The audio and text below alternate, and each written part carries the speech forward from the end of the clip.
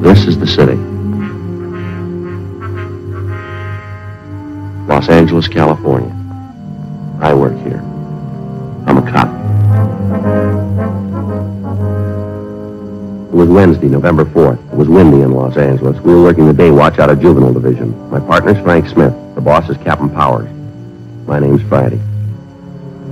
A steady supply of obscene literature had been finding its way into half a dozen high schools in the city. We'd gotten a lead on one of the sources of supply, a 17-year-old high school senior. We had to check it out. Here you are. You can see for yourself. All right, you want to take everything out and lay it on the bench here? You can see what's in there, can't you? My gym stuff, a couple of textbooks. What's that back there in the corner, right-hand side? Where? You know where I mean. Dig it out. Oh, back here, you mean these joke books? That's right. Let's have a look, huh? Why? Just a couple of joke books. A kid gave them to me. Bring them out, Steve. Okay. Just a couple of them. A kid gave them to me. Here. There's more than a couple there. That's what you call a joke book, Steve. Oh, well, that's what the kids call them. They're not so bad, though. They're rotten, Steve, and you know it. Now, where'd you get them? I told you, a kid gave them to me. Who? What's his name? Some kid around school. I don't remember right now. He gave you these books for nothing? Sure, I had a couple he wanted. We traded off. A lot of the kids have them. We trade them around. That stack you got there, they look pretty new. They couldn't have been passed around much. Maybe not. I don't know. Matter of fact, they look brand new to me. Don't even look like they've been opened yet. How come you're roasting me on this thing? What about the other kids? They got them, too. They're buying them, Steve. They're not selling them. I'm not selling them. Anybody says that's a liar. Now, both the fellows in the high school and the kids down the street in the junior high, they say you've been selling this stuff for months. Now, how about it? They're lying, that's all. They don't know what they're talking about. You've been selling these 35 cents apiece, three for a dollar. Last couple of weeks, you've been peddling pictures, two dollar apiece. Any of them in your locker, Steve?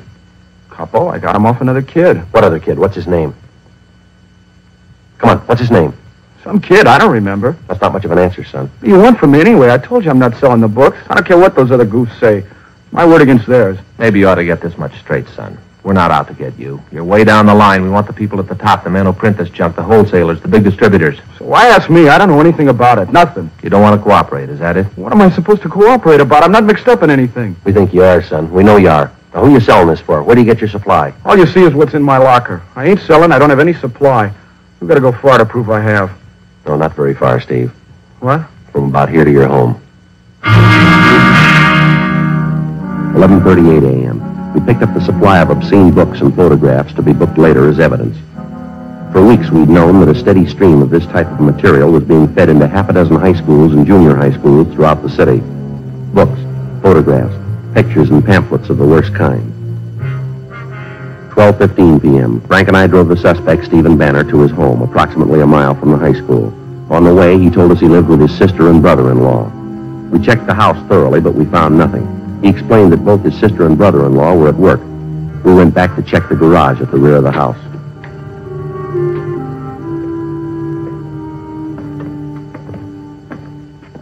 All right, how about it, son? You want to show us where the rest of the stuff is now? What's the use? I guess you'll find it anyway. Right there. Books. Cases of them. Pictures. Filthy. How about it, son? Your sister and brother-in-law know anything about this? No, they don't know anything. All right, you ready to tell us about it? My sister gonna have to find out? I don't know, Steve. It's going to be pretty hard to keep it from her. Yeah, I guess so. Who's the contact, son? Where'd they come from? Charlie. Charlie Hopkins. Only the books, though. Pictures came from another guy. It's a long story. We got the time, son. Who's this Hopkins? I met him downtown one Sunday. Penny Arcade on Broadway. Me and this other kid were in there, Bud Spencer. Hopkins came up, started to talk to us. All right, go ahead, son. He asked me and Bud if we wanted to sell for him around school. This friend of yours, Bud Spencer, does he sell them too? Yeah. He goes to a different school, though. Well, both of us did pretty good with the books. Sold real fast. The pictures were even better. That's so. And you say you didn't get the pictures from Hopkins. It was somebody else. A Man by the name of Jack. I don't know his last name. Hopkins put us on to him, gave us an introduction, set up the deal. We got the pictures for 75 cents. Most of the time they'd bring us a dollar, dollar and a half apiece. Bud and I did pretty good. You know any other fellows working for this Hopkins? Any other kids in school, I mean? No, just Bud and me. That's all I know. Wouldn't be so bad if it was just the books. And lousy Charlie had to go and promote the party routine, get everybody mixed up in that. How do you mean? What's that all about? Charlie stays out at this place on Sepulveda. It's a motel. That's where we always contacted him. Yeah. After a couple of weeks, when we got to know him, he asked me and Bud out to this place. He said he was going to throw a party. Told us to bring our girlfriends along. Turned out we were the only ones at the party. Me and Bud and the girls and Charlie Hopkins. Well, the party lasted pretty late. I should have been smart enough to figure it out. I wasn't. How old are your girlfriends, yours and Bud's? Seventeen. They're both 17. They've been around, though. There's no use kidding you. They weren't very smart, I can tell you that. None of us were, I guess. Next couple of parties, Charlie had whiskey there. Dumb girls drank right along with him. So did we. Does he still throw these Friday night parties, do you know? Maybe, I don't know. I heard there were a couple after the last one I walked out on.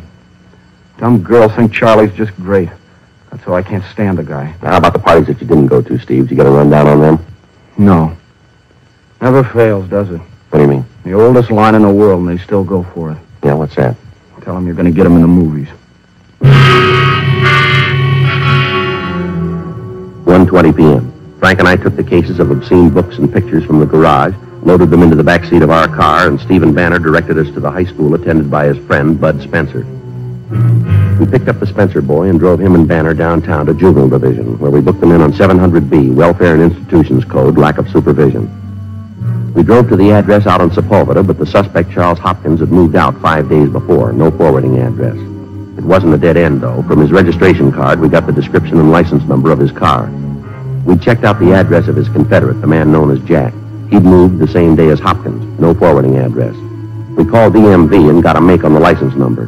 The car was registered in Hopkins' name, 293 and a half North 92nd Street. Frank had gone over to R&I and pulled the package on the suspect. 3.40 p.m. Last address on him's three years old. Well, how's his record read here? Well, he's been in business before. A couple of ag charges and a 502. I see. Served eight months in the county jail. I got a mug shot here. Yeah, Yeah, uh-huh. Close enough to the way the boy described him, isn't it? I'd say so. His MO, too. Yeah.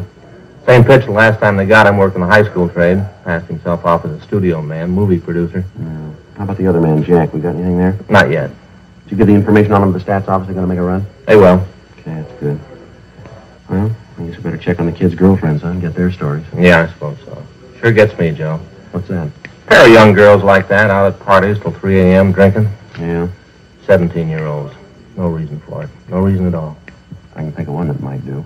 Yeah. Their parents.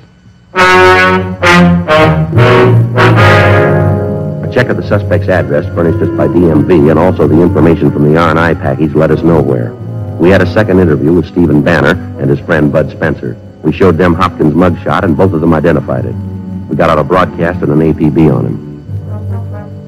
4.12 p.m. Together with policewoman Noreen Statesel, Frank and I drove out to interview the two teenage girls involved, a Dorothy Ryan and a Laura Osborne. We stopped at the home of the Osborne girl first, but she wasn't there, and neither were her parents.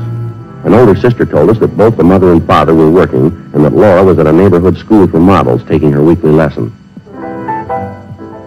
When's the last time you saw Hopkins? About ten days. Two weeks ago. What's this all about, officer? You're looking for Charlie? How's he usually contact you, by phone? Yeah. He usually calls. He called you lately? Well, I don't know. Why are you looking for him? Can't you tell me? Routine investigation, miss. Oh. Well, I'm sorry. I don't know where Charlie is. Why can't you tell me why you want him?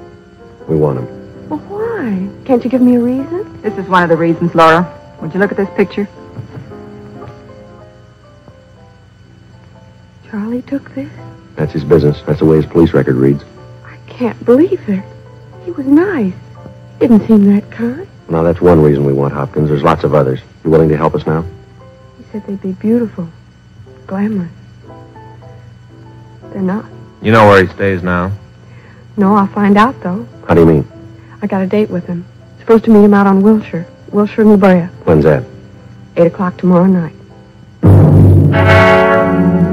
The following morning, Frank and I went across the street to the district attorney's office and presented our case. A warrant was issued on Charles Hopkins for 702 WIC, contributing to the delinquency of a minor. At 7.45 that night, Frank and I staked out on a cocktail lounge near the intersection of Wilshire and La Brea, the place where the suspect had told Laura Osborne to meet him. 8.15, 8.30. Joe. Down at the corner heading this way. Yeah, it could be him. Yeah, dark glasses. Yeah, that's him. Come on.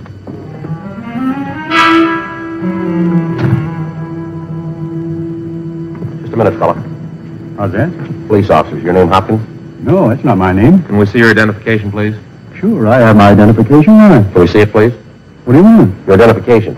Oh, of course, I haven't done anything. All right, mister, we'll talk about it downtown. Wait a minute, I don't want any trouble. I'll show you. There. See? My driver's license. Take it out of your wallet, will you, please? Certainly. Charles Hopkins. That's an old address, isn't it? Yeah? I've not had time to change it. Just got back in town. What's the matter anyway? Where you staying, Hopkins? No place. I just got back in town. I told you that. Not staying any place. No connections at all. Where's your car? Don't have one. Haven't had one for a year. Sold it. Say, would you mind filling me in? What do you want with me anyway? All right, Hopkins. Let's go over here out of the way for a minute. Okay. Just want to know what's going on, that's all.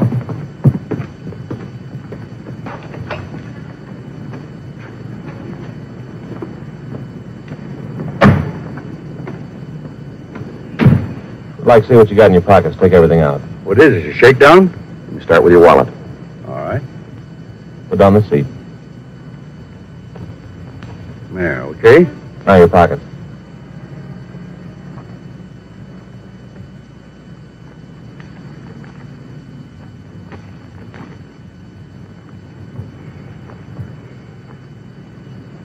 There, okay? You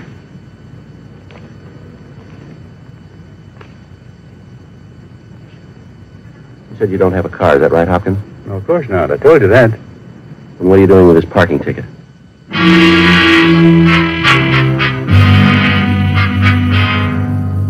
Eight fifty-five p.m. Frank and I finally located Hopkins' car in a parking lot two blocks away from the point where we apprehended him. In the glove compartment of the car, besides a half a dozen photographs and small books, we found a key with a metal disc attached. Stamped on the disc were the words West Side Studios, number 23. Hopkins refused to identify it. He refused to admit a thing. He was booked into the county jail on the contributing warrant. The next afternoon at 5.30 p.m., we drove out to the old West Side Studios just off Jefferson Boulevard. On the way, we tried to again question the suspect, but we got nowhere. One look at the old West Side Studios, and you knew right away it had seen better days. The place had been fairly prominent back in the early days of silent pictures, but all that was left now was three square miles of broken down scenery. The faded sign over the main gate read West Side Studios, founded 1920, admission by pass only. Hopkins unlocked the gate and we drove onto the lot. The place was deserted. The sun had almost gone down. There was a cold wind from the north.